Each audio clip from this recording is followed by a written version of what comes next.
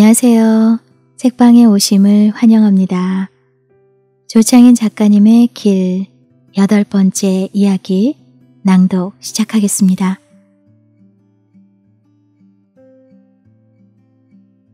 제 4장 날치는 연희를 들쳐업고 연립주택을 나왔다. 아니 쫓겨났다. 이 무슨 개떡 같은 경우란 말인가. 일방적으로 얻어맞다 다운 직전으로 몰린 복서처럼 처참한 기분이었다. 춘자가 사라졌다. 그래 거기까진 참을만 했다. 어차피 평생 정부치고 살 상대가 아닌 줄 진작 알아차렸으니까 우라통 터지는 일은 훌쩍 몸뚱이만 사라진 게 아니었다. 어제 저녁 춘자에게 어머니의 폐물을 넘겼다. 표정수가 요구하는 선수금에 어림없는 액수겠지만 일단 시간을 벌어보자는 속셈이었다.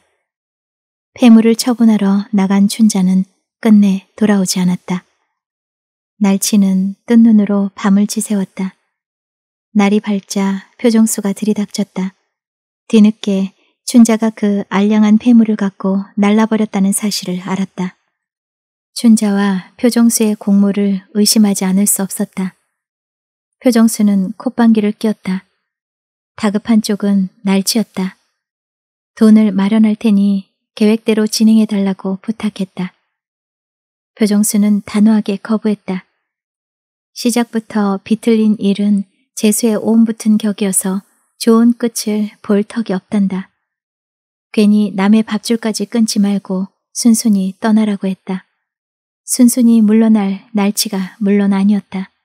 날 죽은 개 취급을 하다간 뼈도 못 추리게 될 거다. 나는 노는 물이 달라. 촌구석에서 촌놈 등쳐먹는 너와는 질적으로 다르단 말이야. 차라리 입을 다물고 있었어야 옳았다. 예고도 없이 표정수의 주먹이 면상에 꽂혔다. 날치, 널 알고 있다. 네 조직에서 눈알 뒤집고 찾는 것도 모르지 않는다. 거성파라면 나도 이가 갈리는 놈이야. 천만 다행인 줄 알아. 네 조직에 맺힌 게 없었다면 넌 벌써 골로 갔을 테니까. 죽은 개처럼 그렇게 날치는 쫓겨났다. 바람 앞에 촛불 같은 목숨에 계집애를 등에 업고 다리 병신을 대동한 채 저문 산 속에서 길을 잃은 격이었다. 눈보라 몰아치는 들판에 알몸으로 서 있는 신세였다. 아파트 단지에 딸린 놀이터가 눈에 들어왔다. 언제까지 연희를 업고 있을 수는 없는 노릇이었다. 날치는 놀이터 주위 벤치에 연희를 내려놓았다. 옆구리 터진 자루처럼 모로 쓰러지는 연희를 승우가 재빨리 잡았다. 이어 연희의 머리를 자신의 무릎으로 받쳤다. 날치는 씁쓸히 웃으며 주머니를 뒤졌다. 담배가 없다. 계집한테 무참하게 배신당했다. 담배조차 챙기지 못한 채 빈 털터리로 쫓겨났다. 자신의 처지가 새삼 처량했다. 춘자를 믿었던가? 아니다. 믿고 싶었을 뿐이다. 언제든 발을 뺄 준비를 한 채 문 밖에서 문 안을 기웃대는 심정이었다고나 할까. 승우가 배낭을 열더니 포장도 뜯지 않은 담배를 내밀었다. 엄마 고향에 갔다 오면서 샀어요. 삼촌은 담배를 좋아하잖아요. 아직 아홉 갑 더 있어요. 한 갑만 사면 가게 주인이 의심하거든요. 자식, 잔대가리는 있어가지고. 날치는 담배 연기를 내뿜고는 물었다. 돈 있냐? 네, 많아요. 죽도 할머니하고 외숙모가 주셨어요. 승우는 양말 속에서 꾸역꾸역 지폐를 꺼냈다. 꼬깃꼬깃한 지폐를 반듯하게 정리해 내밀었다. 젠장, 아이한테 웬 차비를 이리 많이 줬담. 날치는 지폐를 주머니 속에 쑤셔 넣었다. 만일 어머니가 요구한 돈의 전부를 마련해 주었다면 어찌 되었을까? 결국 되먹지 못한 계집 입에다 한 몫에 털어놓는 꼴이었겠지. 알량한 폐물 몇 점으로 끝난 건 차라리 잘된 일이었다. 그렇다고 천만 다행으로 여겨야 한다는 말인가. 날치는 반 넘게 남은 담배를 손가락으로 튕겨 날렸다. 담배는 놀이터 앞을 지나던 흰색 소나타 전방 유리에 명중했다. 아저씨, 어디다 버려요? 운전석 창이 열리고 여자가 파락 악을 썼다. 그냥 곱게 가쇼. 기본 상식을 지켜요, 상식을. 뭐라고 대꾸하기도 전에 소나타는 손살같이 멀어졌다. 별게 다 속을 뒤집어 놓는군.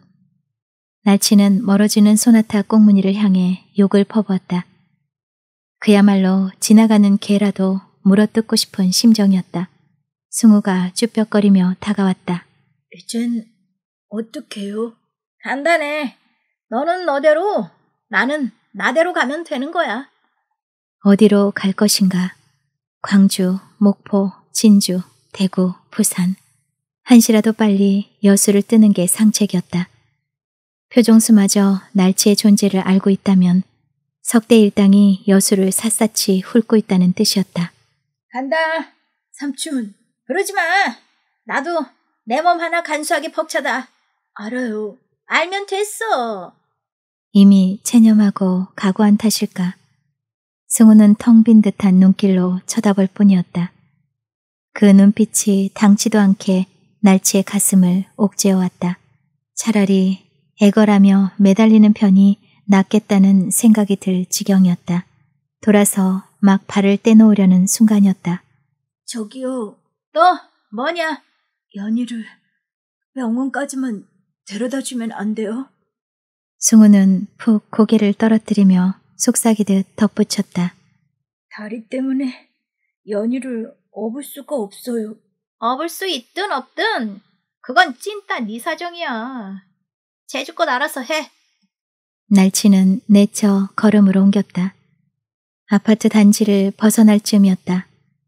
삼촌, 삼촌. 등 뒤에서 승우의 목소리가 들려왔다. 승우가 필사적이라고 느껴질 만큼 절름대며 다가오고 있었다. 찰거머리처럼 질긴 놈이군. 뺨이라도 후려 갈겨 쫓아버릴 생각으로 날치는 멈춰섰다. 승우가 가쁜 숨을 몰아쉬며 주저앉더니 배낭을 열었다. 담배를 꺼내 날치에게 내밀었다. 한 갑을 받아들면 다시 한 갑을 건네고 다시 또 사람 주접스럽게 만들지 말고 한꺼번에 꺼내 임마. 네, 삼촌. 승우가 배낭 속에 두 손을 집어넣어 한 몫에 꺼내 들었다.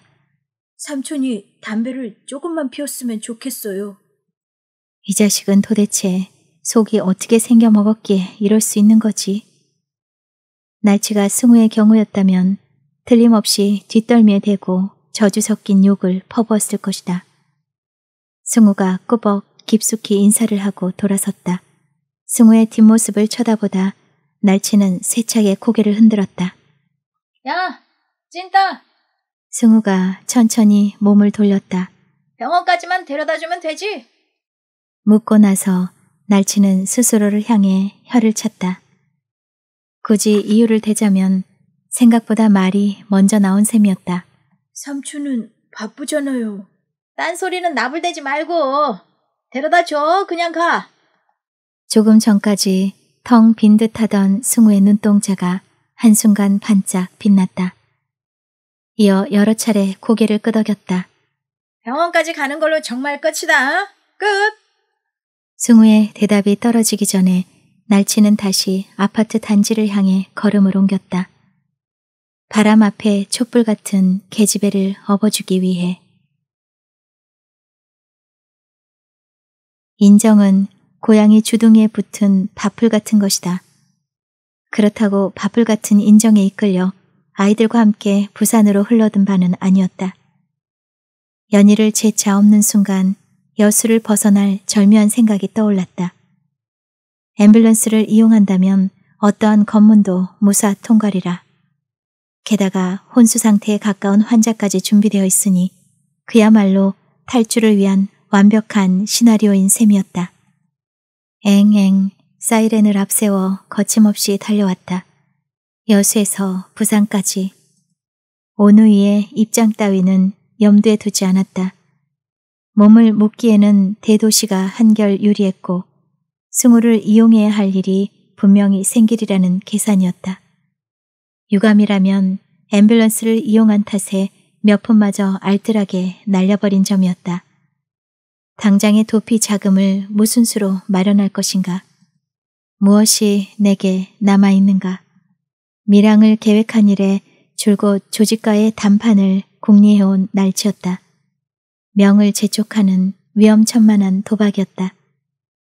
하지만 이 땅에서 평생을 도망자로 떠돌 수는 없었다. 밀항은 외면키 어려운 유혹이었다. 이제 밀항은 물 건너갔다. 조직을 상대할 이유도 없어진 셈이다.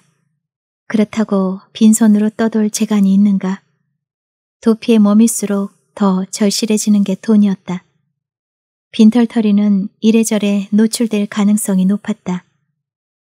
부산에는 가랑비가 흩뿌리고 있었다. 겨울을 재촉하는 비였다. 연희가 시립병원 응급실로 실려 들어가는 꼴을 날치는 멀찍이 떨어져 지켜봤다. 석 달이라는 시한부 3. 그 약정된 시간이나마 제대로 살 수 있을까? 승우가 사언니에 다녀온 그제 저녁이었다. 날치는 승우를 흠씬 두들겨 팼다. 쥐잡아 놓은 듯 확실히 해둘 필요가 있었다. 그래야 앞장 세우는 일이 있어도 뒤탈이 생기지 않을 거였다. 연희는 죽어가고 있어요. 고스란히 매질을 받아낸 뒤 승우의 말이었다. 맞은 게 억울하다는 뜻으로 들렸다. 날치는 몇 차례 더 발길질을 해댔다. 병원에서 말했어요. 잘해야 석 달 살 거라고요. 왜? 이제야 말해? 묻고 나서 날치는 스스로를 향해 혀를 내둘렀다. 언제 연희에 대해 듣고 싶어 한 적이 있었던가. 아홉 살 계집애가 죽든 살든 신경 곤두세울 바가 아니었다. 그럼에도 날치는 물었다. 병원에 조신하게 있을 일이지. 왜 도망쳐 나와? 병원에 있으면 연희는 죽고 말아요. 그냥 죽도록 내버려 둘 수가 없었어요. 엄마를 만나야 돼요. 죽을 병이라면 너희 엄마라고 별 수 있겠냐. 연희가 죽기 전에 엄마를 만나고 싶다고 하더냐? 연희는 아무것도 몰라요. 엄마를 만나면 괜찮아질 거예요. 승우의 눈에 눈물이 맺혔다. 맞고 걷어차이는 동안에도 비명 한 번 지르지 않던 아이였다. 자신이 짐작조차 할 수 없는 그 어떠한 힘이 승우의 내면에 깃들어 있다는 생각마저 들었다. 승우의 모습이 응급실 입구에 언뜻 보였다가 이내 사라졌다. 문득 가슴을 저미는 듯한 통증이 느껴졌다. 불현듯 다가온 건 아니었다. 연희를 업었던 순간부터 날치의 내부에 도둑처럼 스며든 감정이었다. 날치는 고개를 한껏 뒤로 젖히고 하늘을 올려다봤다. 어둠이 밀려오는 하늘에서 이마를 짚는 차가운 손길처럼 빗방울이 떨어졌다. 그래, 꼭 스무 나이쯤 되었을 때다. 늦동이 여동생이 있었다. 서기명, 서기도, 서기순, 그렇게 삼남매였다. 어머니는 줄곧 갯일에 매달렸고 기순이를 돌보는 일은 날치의 차지였다. 형 김영은 광주에서 중학교를 다니고 있었다. 날치는 날마다 기순을 얻고 동구에서 서성이며 어머니를 기다렸다. 또래들이 바다를 들쑤시며 노는 것을 한없이 부러워하며 기순이 네 돌을 막 지난 한여름이었다. 지독히 더운 날이었다. 바다에서 멱을 감는 친구들을 바라만 봐야 하는 건 더위보다 한결 견디기 힘들었다.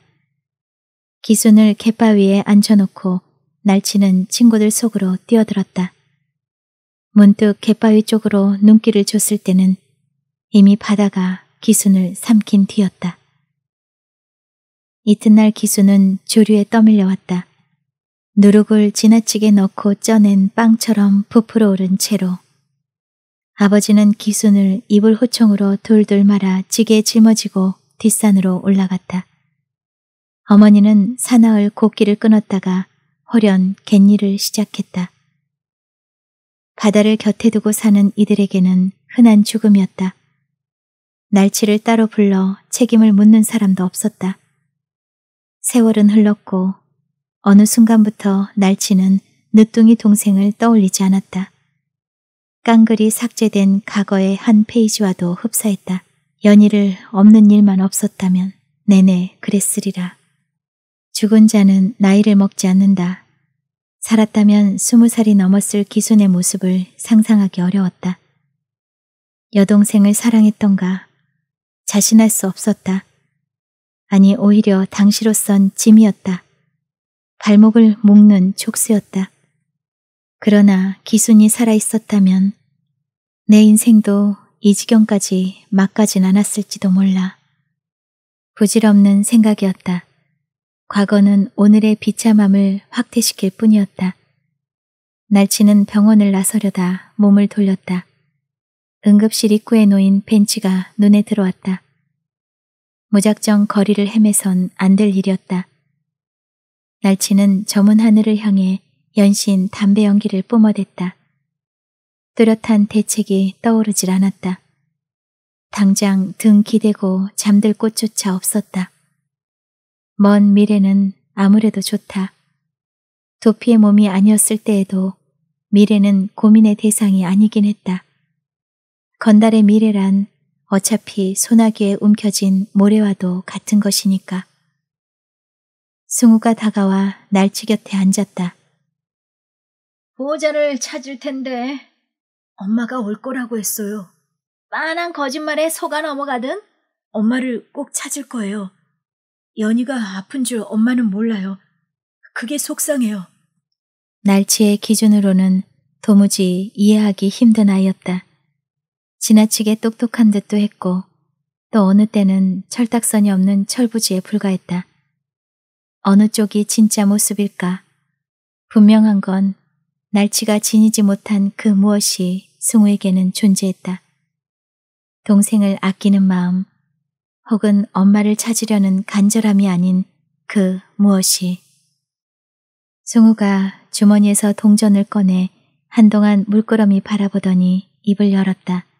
그런데 삼촌, 무서워요. 명색이 나라에서 하는 병원인데 병원비 없다고 쫓아내기까지 하겠냐? 그런 뜻이 아니고요.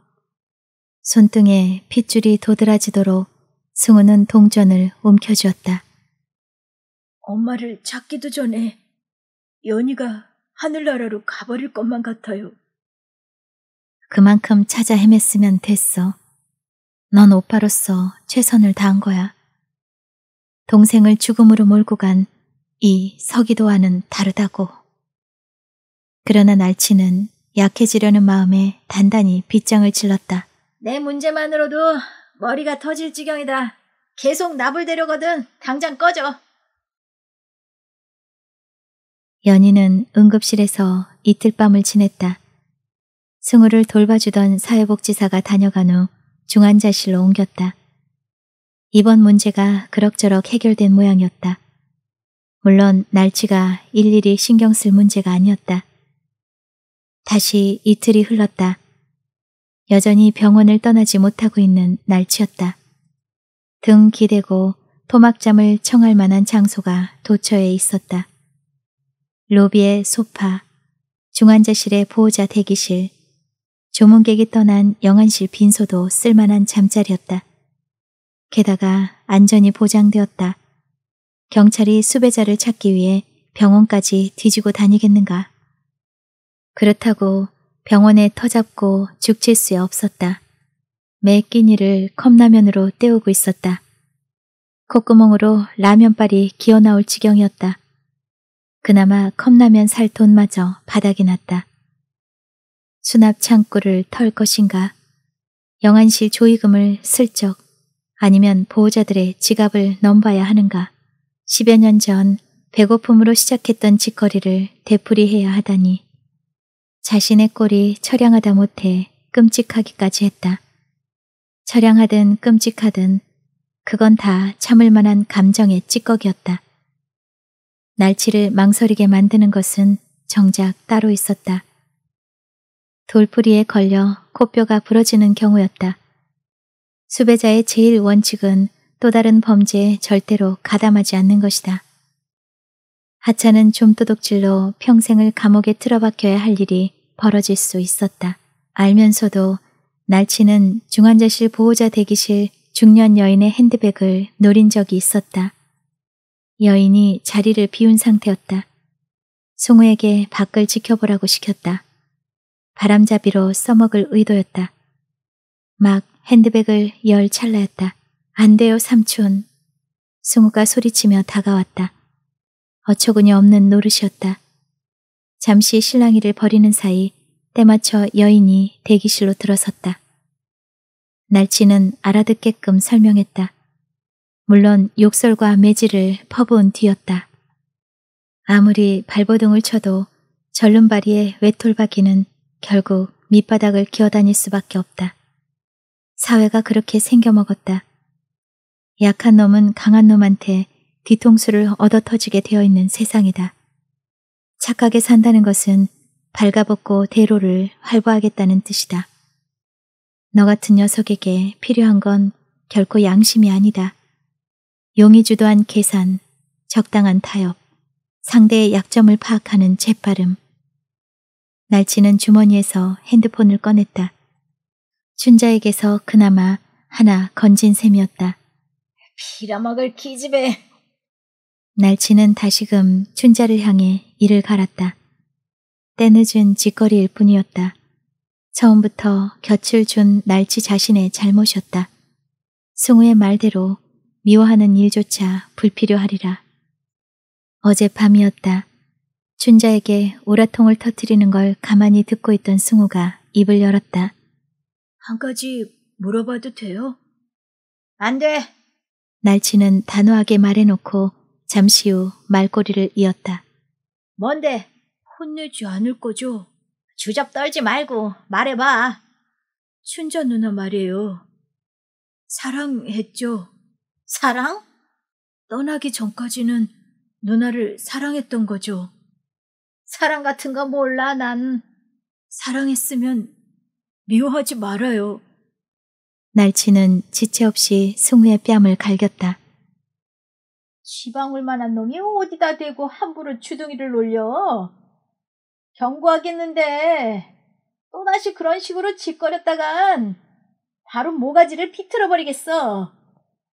날치는 중환자 보호자 대기실을 나왔다. 사랑했으면 미워하지 말라. 헛소리 빽빽 된 것에 불과하다고 생각하면서도 승우의 말은 묵직한 무게로 가슴을 눌러왔다. 사랑보다 미움에 익숙한 삶을 살아왔다. 돌아보면 온통 증오의 대상들만 우글거릴 뿐이다. 사는 방법이 죽는 방법을 결정한다던가 결국 증오의 눈길에 둘러싸여 죽고 말리라. 날치는 쓴 웃음을 짓고는 핸드폰의 폴더를 열었다. 한 시간만 여유를 달라던 구정물이었다. 간단한 문제였다. 시간을 두고 고민할 성질이 아니었다. 아쉬운 쪽은 날치 자신이기에 순순히 구정물의 제의를 받아들였다. 구정물은 해운대를 활동 무대로 삼는 소매치기 일당의 우두머리였다. 한때 구정물에게 물건을 댄 적이 있었다. 고향이 비슷하고 나이도 같아 제법 허물없이 지내기도 했다. 그러나 이태 전 구정물이 거래 루트를 바꾸는 통에 날치의 조직과는 등을 진 상태였다. 조직의 명령에 따라 죽고 사는 처지이므로 날치와 구정물의 관계도 당연히 청산되었다. 승우를 구정물에게 넘길 작정이었다. 단돈 몇 푼이 아쉬운 상황이었다. 조금이라도 더 받아내기 위해 흥정까지 버렸던 날치다. 찐따들이 그렇듯이 손 하나는 아주 빠르고 예민한 녀석이라고. 발신자 정보를 차단하는 번호를 입력한 후 구정물과 통화를 시도했다. 구정물의 목소리가 기다렸다는 듯 튀어나왔다. 좋아. 그 애는 우리가 접수하는 걸로 하지. 지금 있는 데를 말해. 내가 갈 테니까. 그럴 것까지 있겠어? 내일 보자고. 새김도 당김에 빼랬다고. 당장 만나지. 1층 로비에 육중한 유리문 너머 승우의 모습이 보였다. 어깨를 한껏 떨어뜨린 채 비쩍비쩍 걷는 꼴이 또 허탕을 친 모양이었다. 날치는 시간을 확인했다. 5시 30분, 오전 10시와 오후 6시, 두 차례의 중환자실 면회 외에는 줄곧 밖으로 나돌고 있는 승우였다. 엄마를 찾으려는 그 무모하고도 가망 없는 일에 매달렸다. 문득 문득 말리고 싶긴 했다. 그때마다 날치는 자신에게 말했다. 상관할 바 없어. 백사장에서 바늘을 찾든 말든 어차피 남의 일일 뿐이야. 날치는 로비에 들어선 승우에게 다가섰다. 갈 데가 있다. 지금요? 곤소리 말고 따라와. 안 돼요. 면회 시간이 다 됐어요. 한 번쯤 걸러도 괜찮아. 면회 끝나고 가요, 삼촌. 이 자식이 정말? 날치는 언성을 높이며 손을 들었다. 뺨을 후려치려 했으나 주위의 시선이 예사롭지 않았다. 들었던 손을 승우의 어깨에 내려놓았다. 내일부터 네 엄마 찾는 일에 발벗고 나서줄 테니까 내 말 들어라. 정말요? 물론 약속하마. 한순간 승우의 얼굴에 환한 미소가 피어오르는 듯 싶더니 곧 사라졌다. 중환자실에 누워있는 연희를 떠올린 탓이리라. 병원 정문을 향해 걸으면서도 연신 고개를 돌려 중환자실 쪽을 바라보았다.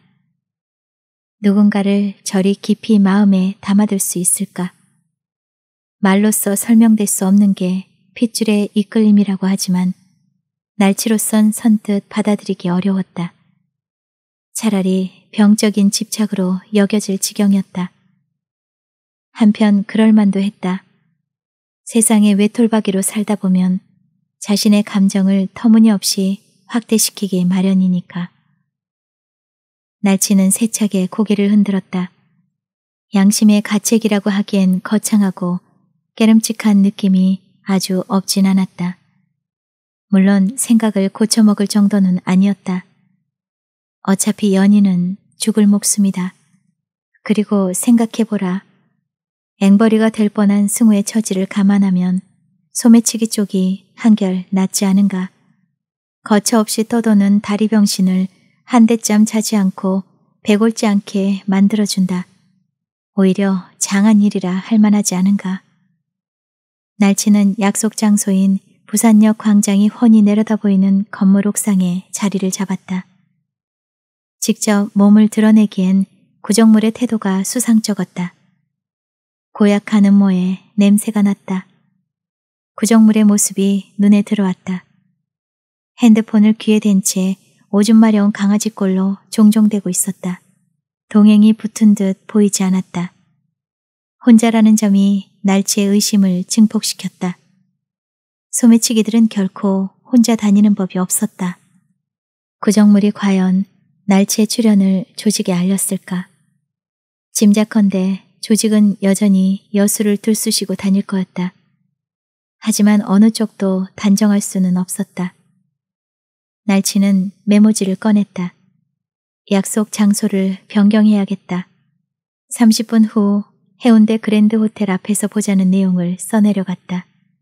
시계탑 주위에 서 있는 가죽 점퍼 입은 사람 보이지? 가서 이걸 전해라. 그 다음은요? 버스 정류장에서 기다려. 굉장히 쉬운 일이네요. 승우는 빙긋 미소를 지었다. 그래, 지금 웃어두는 편이 나을 것이다. 날치의 의도대로 일이 진행된다면 조만간 구정물의 손에 사로잡혀 평생을 소매치기로 지낼 신세였다. 승우를 내려보낸 후 날치는 옥상에 설치된 광고판 뒤에 몸을 숨긴 채 역 광장을 응시했다. 소매치기 세계에선 어린아이를 골라 뒤를 잇게 했다. 주로 가출한 아이들이 대상이었다. 경우에 따라선 앵벌이 조직에서 적당한 아이를 돈으로 사오기도 했다. 6개월 정도 감금 상태에서 아이에게 기술을 가르친 후 현장에 투입했다. 6개월이라. 연인은 이미 죽었을 테고 구정물은 자신의 입맛에 맞도록 승우를 가혹하게 다룰 것이다. 승우는 원래의 빛깔과 향기 대신 악에 바쳐 사는 법을 터득하겠지. 그때쯤이면 연희도 엄마도 따로 마음에 새겨두지 않게 되리라. 절름대며 광장을 가로지르는 승우의 모습이 눈에 들어왔다. 날치의 말대로 승우는 쪽지를 건네고 재빨리 구정물의 곁에서 물러났다. 쪽지를 펼쳐든 구정물이 허공에 대고 휘휘 손을 내저었다. 순식간에 서너 명의 사내들이 구정물을 둘러쌌다. 날치는 무릎을 꺾고 엎드렸다. 바퀴벌레처럼 바닥에 납작 배를 깔고 있는 자신의 모습이 처량하고도 끔찍했다. 필터까지 타들어간 담배를 손가락으로 튕겨낸 날치는 새로운 꽁초에 불을 붙였다. 본관 입구 재떨이에서 슬쩍슬쩍 주워 모은 꽁초들이었다. 조금 전까지 주머니가 수북할 지경이었는데 어느 결인가 마지막 꽁초를 빨아대고 있었다. 젠장, 꽁초야 재떨이에 널려 있잖아. 아쉬울 거 없다고. 날치는 혼잣말을 중얼거렸다. 그렇게라도 스스로를 다독거리고 싶었다. 하지만 처참함만 거듭 돌아본 꼴이었다. 이대로 모든 게 끝장이 났으면 좋겠어. 더 이상 이런 식으로 살고 싶지 않다고. 문득문득 피하기 힘든 유혹처럼 다가오는 생각이었다. 스물아홉 해의 세상살이가 거대한 벽이 되어 가로막고 있었다. 무엇을 더 바랄 것인가? 무엇을 향해 길을 쓰고 살아갈 것인가? 하루를 산다는 것은 하루치의 치욕을 더할 뿐이었다. 구정물의 배신을 확신했던 바는 아니다. 단지 최악의 경우를 대비하자는 의도였다. 구정물의 신호로 모습을 드러낸 사내들은 사복 차림의 형사들이었다. 틀림없었다. 건달에게선 건달의 표시가 나고 경찰에게선 제 아무리 감추려 들어도 그들만의 냄새가 풍기게 마련이다. 그래, 용케 목숨은 구했으니 다행으로 여기자. 그러나 소재가 파악된 이상 경찰의 추적은 집요하게 이어질 것이다. 또한 경찰의 낌새를 조직이 놓칠 리 없다. 도간에 든 생쥐 꼬락선이다. 그건 그렇다고 치자. 문제는 날치 자신이 아무런 대책도 갖고 있지 못하는 점이다. 대책은커녕 꽁초나 주워 피우는 비참한 몰골이었다. 비참함 때문일까? 날치는 자주 죽도의 엄니를 떠올렸다.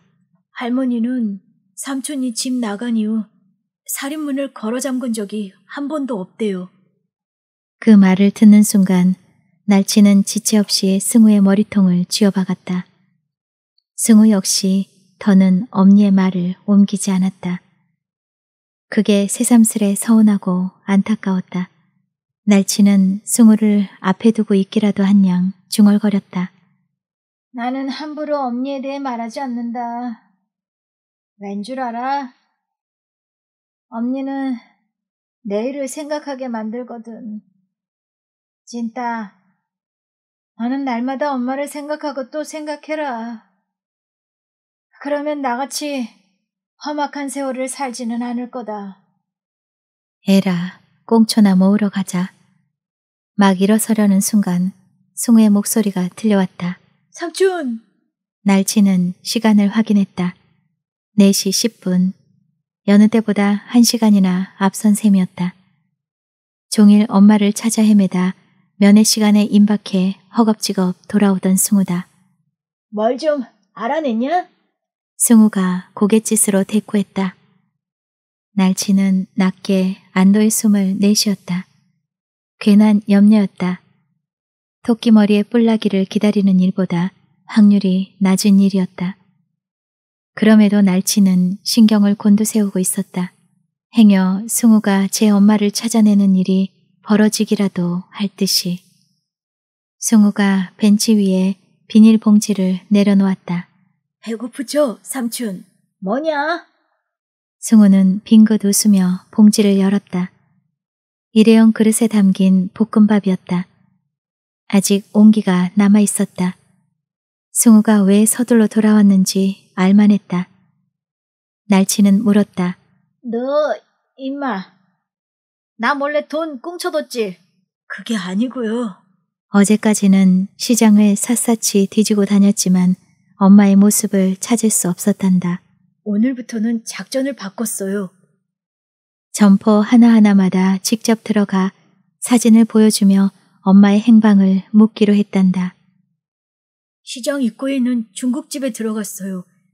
점심시간이라서 굉장히 바빴어요. 아저씨 혼자서 전화 받고 음식 나르고 빈 그릇 치우고 아저씨가 배달 나가면 주방에 있던 아줌마가 대신 일하고 그래서 제가 좀 도와드렸어요. 두어 시간 일해주고 볶음밥을 얻어온 셈이었다. 자장면보다는 볶음밥이 나을 거라고 생각을 했다나. 새끼 거지가 동냥해온 걸 어른 거지가 꾸역꾸역 먹고 있는 꼴이었다.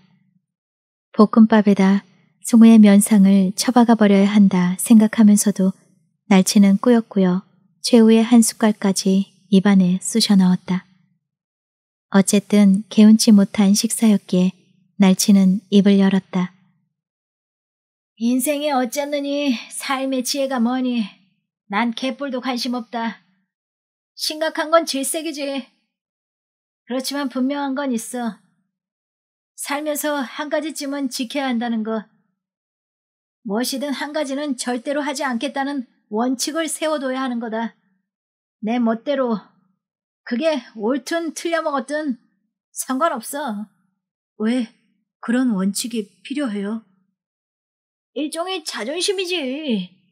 한 가지쯤은 고집을 부려야 개떡 같은 인생이 그나마 내 것 같은 생각이 드니까 삼촌한테 그 하나는 뭐예요? 너처럼 동냥질은 안 해. 목에 칼이 들어와도 절대로. 승우는 잠시 골똘한 표정을 짓더니 다시 볶음밥을 먹기 시작했다. 말귀를 못 알아듣는 놈이구먼. 날치는 가래침을 우렁차게 도도 뱉고는 말했다. 맛있냐? 승우가 냉큼 고개를 끄덕였다. 이렇게 맛있는 볶음밥을 매일 먹을 수 있으면 좋겠지? 이번에는 잠자코 두 눈만 껌뻑거렸다. 날치는 쓴 웃음을 짓고는 다시 물었다. 그 중국집 말이다. 정말 그렇게 바쁘대? 네, 굉장히. 바람이 사납게 불어왔다. 키 작은 은행나무가 머리채라도 휘어잡힌 양 흔들렸다. 날치는 짧게 한숨을 토해내며 중얼거렸다. 탕수육에 빼갈 한 장 걸쳤으면 원. 탕수육에 빼갈 한 장 걸쳤으면 원이 없겠다. 내시를 막 넘어서고 있었다.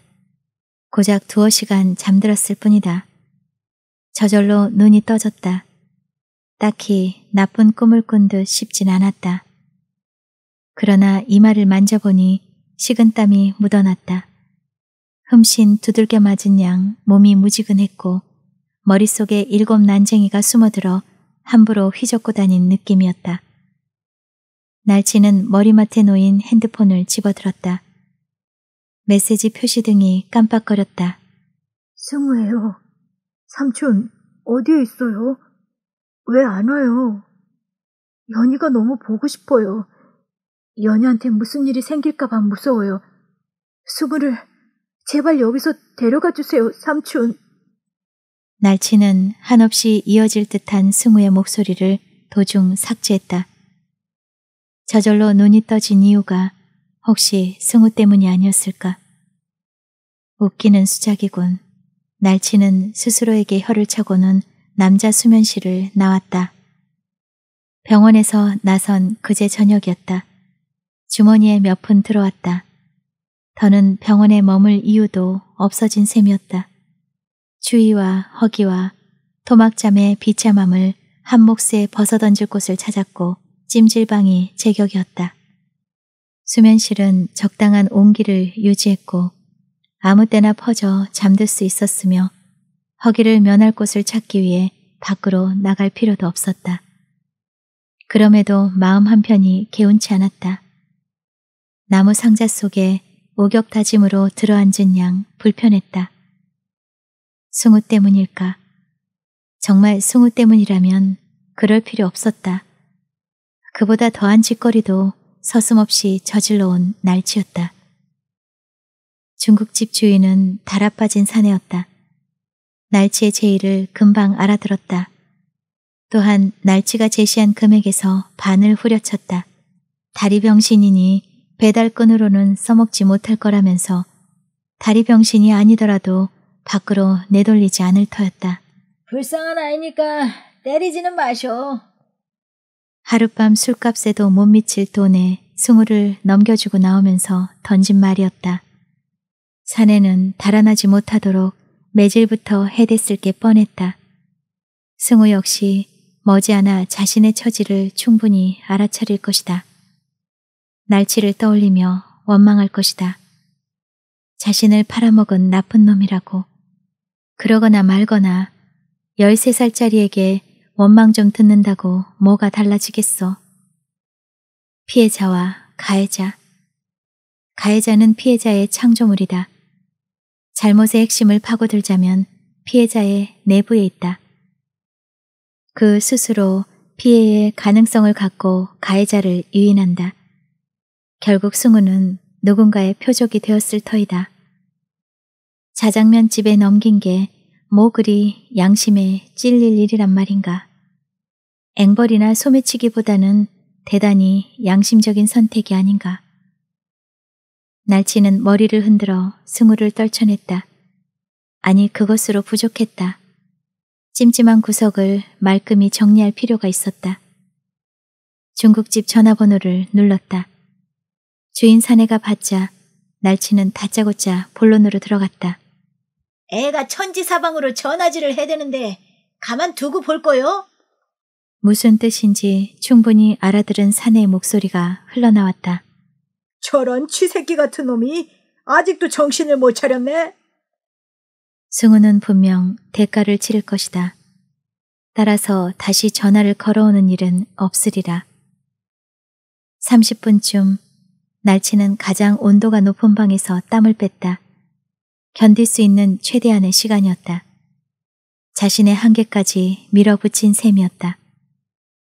어쩌면 스스로를 그런 식으로 학대하고 있는 듯한 느낌마저 들었다. 날치는 샤워실로 들어갔다. 이제 적당한 사냥감을 물색해야 할 때였다. 돈풍깨나 지녔을 사내를 찍어 그의 소지품을 털 심산이었다. 옷장을 여는 것쯤이야 식은 죽 퍼먹는 격이었다. 장차 어떻게 할 것이며 어디로 갈 것인가 계획을 앞세우지 않기로 했다. 돈이 먼저였다. 어떤 식의 계획이든 돈이 마련된 이후라야 가능했다. 그 전까지는 부질없는 근심일 따름이었다. 막 알몸이 되려는 순간 핸드폰이 울렸다. 춘자를 찾는 전화가 분명하리라. 날치는 망설였다. 하지만 벨소리가 고요한 내부를 시끌벅적 울리고 있었다. 저... 여자의 목소리다. 주저하던 여자가 마침내 입을 열었다. 승우를 만나고 싶어서 전화를 했어요. 누군데 승우를 찾죠? 승우의 엄마예요. 아, 엄마의 고향집에 핸드폰 번호를 남겼다던 승우의 말이 떠올랐다. 소용없는 짓이라고 날치는 비웃고 말았다. 승우 자신도 전화가 오리라는 기대에 매달리는 눈치가 아니었다. 승우를 만나고 싶어요. 만날 수 있는 거죠? 물론 만날 수 있다마다요. 승우는 어디에 있나요? 그쪽은 어딥니까? 부산 그렇다면 언제든지 만날 수 있겠네요. 통화를 할 수 있을까요? 당장은 곤란하고요. 일단 만나죠. 제가 아무 때나 시간을 낼 수 있는 입장이 아니라서 내일 만나면 어떨까요? 빗방울이 흩뿌리기 시작했다. 목덜미에 소름이 돋을 만큼 오싹한 겨울을 재촉하는 비였다. 광복동 번화가를 가득 채웠던 사람들이 바닥에 떨어진 물풍선처럼 흩어졌다. 날치는 빠르게 걸음을 옮겨 약속 장소인 찻집으로 들어섰다. 창가로 자리를 정하고 커피를 주문했다. 대학생으로 보이는 남녀가 삼삼오오 짝을 지어 웃고 떠드는 소리로 찻집은 소란스러웠다. 베네통, 버버리, 폴로, 구찌, 소위 명품으로 치장하고 있는 꼬락서니를 날치는 하나씩 옮겨가며 쏘아보았다. 부모 잘 만나서 근심 없이 사는 족속들이군. 날치는 속말을 중얼거리며 고개를 돌렸다. 초라한 나의 인생, 그 절반 이상은 부모의 탓이다. 나도 그럴싸한 집안에서 태어났다면 이런 대먹지 않은 인생을 살지 않았으리라. 개천에서 용이 나는 건 그야말로 어쩌다 생기는 돌연변이다. 쥐야장창 개천에선 피라미, 송사리, 미꾸라지 따위들만 꿈틀거릴 뿐이다. 날치는 핸드폰 액정 화면에 나타난 시간을 확인했다. 12시 14분. 약속 시간이 지나쳐 있었다. 날치는 다시 주위를 두리번거렸다. 사진 속 얼굴과 일치하는 여자는 없었다. 술병을 끼고 노닥대거나 노름판에서 밤새 많은 짓거리 말고는 진득하게 한 곳에 머물지 못하는 성질머리였다. 기다리는 데는 더더욱 소질이 없었다. 그걸 승우 엄마가 모르니 일단은 참을 도리밖에. 승우 생각이 났다. 한창 점심때니 자장면이나 단무지 따위를 열심히 나르고 있겠지. 절름절름 주방과 식탁 사이를 오가며 지금쯤 체념했을까? 엄마를 찾아 헤매는 짓거리도 동생을 면회하는 일도 승우가 기도하는 모습이 떠올랐다. 그 모습이 기이하게도 날치의 가슴을 옥죄어 왔다. 떠도는 주제에도 승우는 일요일이면 어김없이 교회를 찾았다. 틈이 날 때마다 무릎 꿇고 기도를 했다. 그 믿음이 가소로웠고 한편 놀라웠다. 교회는 뭐하러 가? 차라리 네 주먹을 믿어라 자식아. 승우는 대답했다. 믿으면 알게 되고 알게 되면 사랑하게 된다고. 그리고 믿음은요. 앞으로 내가 무엇을 해야 할지를 가르쳐 줘요. 믿음을 지니면 앞날에 대해 결코 겁먹지 않는다는 뜻으로 날치는 이해했다. 이해했을 뿐 결코 동의한 것은 아니었다. 앞날이란 씹다 길거리에 내뱉은 껌조각 같아서 어떤 작자의 구두 밑창에 붙을지 모르는 일이다. 인생은 결탄코 자신의 뜻대로 사라지지 않는다. 삼촌이 하나님을 믿게 해달라고 기도하고 있어요. 승우와 비슷한 말을 했던 여자가 있었다. 건달 생활을 청산하길 간절히 바랐던 여자였다. 날치의 세월 앞에 징검다리처럼 놓였던 여자들 중 유일했다. 대부분 하루살이 사랑과도 같았다. 기대 따위는 처음부터 생략해둔 만남이었다. 여자는 일요일이면 교회에 갔고 만날 시간은 그만큼 줄어들었다. 날치의 항의에 여자는 말했다. 같이 교회에 다니자고. 나 같은 놈이 갈 데가 아니야. 교회는 깨끗이 세탁한 수건 같은 걸 거야. 내 몸은 온통 흙탕물에 얼룩으로 엉망진창인데 어떻게 얼굴을 내어 밀겠냐. 미안하게스리. 교회는 죄인들을 위해서 있는 거예요. 깨끗한 얼굴은 닦을 이유도 없고. 그러니까 수건도 필요 없잖아요. 여자는 한동안 그 자신이 수건이 되어 날치를 씻겨주길 원했다. 하지만 날치는 여자를 버렸다. 이유 따위는 잊었다. 버림당하는 순간까지 기도하겠다던 여자의 말만 남았다. 날 위해 기도하겠다는 인간이 둘씩이나 있는데 왜 이 모양이 꼴이지? 찻집 출입문에 매달린 종이 달랑거렸다. 승우 엄마라고 확신하며 날치는 자리에서 엉거주춤 일어섰다. 13살짜리 아이의 엄마치고는 상당히 젊은 인상이었다. 맞은편에 자리를 잡은 승우 엄마가 물었다. 승우는요? 날치는 창밖으로 시선을 돌렸다. 길게 한숨을 토해낸 후 입을 열었다. 아, 우리가 승우 어머니를 얼마나 찾아 헤맸는지 아십니까? 우리 한순간 후끈 낯이 달아올랐다. 그러나 계속 사용해야 마땅할 반드시 그럴 필요가 있는 단어였다. 우리를 앞세워 날치는 지나쳐온 시간과 거리를 서너 배쯤 확대시켰다. 거의 승우 홀로 걸어온 길이었고 시간이었다. 그럼에도 이야기를 이어가다 보니 날치 자신이 승우의 심정이라도 된 듯한 착각마저 들었다. 승우 어머니가 묵묵히 듣고 있다 물었다. 승우와는 무슨 관계죠?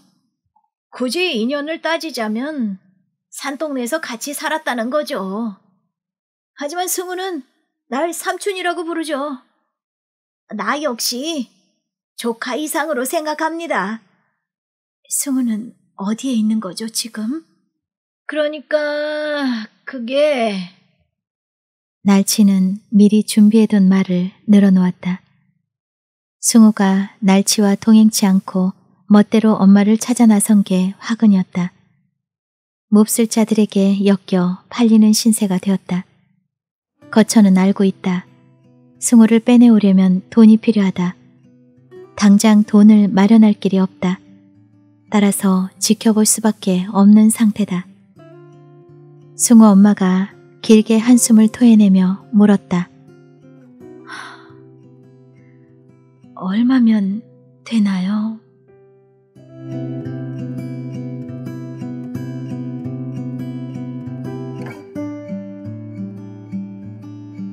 네, 조창인 작가님의 길 오늘 여덟 번째 이야기 낭독을 마쳤습니다. 오늘도 편안히 머무셨길 희망하고요. 가시기 전에 구독, 좋아요, 알림 설정까지 부탁드리겠습니다. 감사합니다. 다음 시간에 또 찾아뵐게요.